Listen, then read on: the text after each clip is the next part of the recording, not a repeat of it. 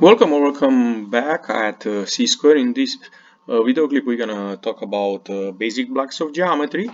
Uh, and for that reason I'm gonna click on this uh, geometry app. But first of all I want you guys to see this is the website geogebra.org and the app I'm gonna use is this one geometry.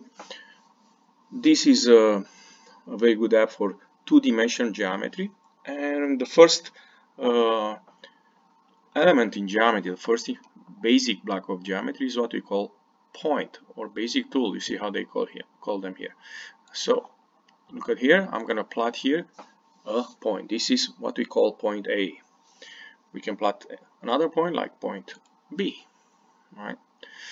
Let's go to the next uh, basic uh, element of geometry when I'm going to use this tool, which is called a line. I'm going to click on this and you will notice it says here select two points or a position. I'm gonna put two points. And there you go. We have a line. This is called line CD or DC it's okay if you call either way. Of course I can draw a line through these two points. And that brings me a very important postulate which said that if you have two points you have a unique line. And that is correct. Now um, one more thing, all both lines here you, you notice they have more than two points. They have an infinity of points. Okay, for for example, all these points are called collinear points. There are points that are on the same line. A, E, B, F, collinear points. C, G, D, collinear points. Then you notice we have another uh, basic tool which is called a segment. Yeah, we're gonna uh, construct, we're going to draw a what is called a line segment or just simply a segment. And if you notice, it's a big difference between a line segment and a line. Line goes forever in both direction. A seg and it doesn't have endpoints. A segment is a finite, is a part of a line and it has two endpoints. In this case, the segment has two endpoints, J and K let me clean this um, drawing and you need you see we have this undo button here which allows me to clean everything I have here. And now I'm gonna draw a ray. For that reason I'm gonna click here uh, on more tools. And if you scroll down you'll see ray. Okay so this is a ray.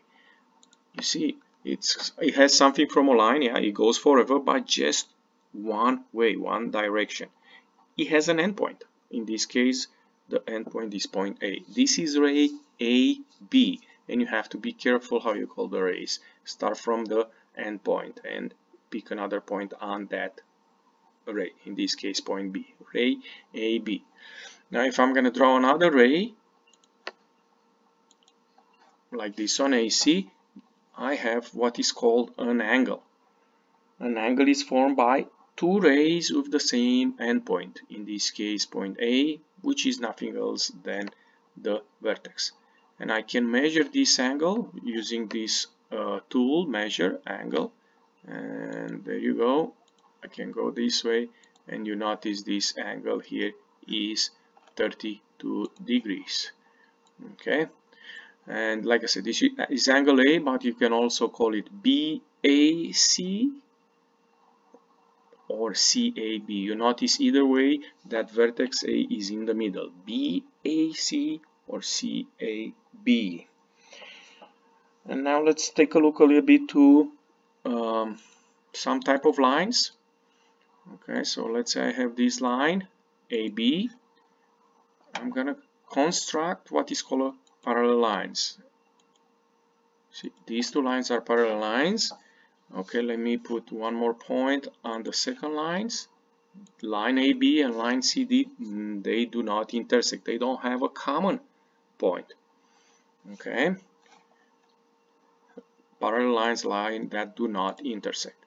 Uh, similar I can put another point somewhere on the plane right here and I can construct a perpendicular line on line AB and you see I'm gonna go here and there you go. I have what is called a perpendicular line.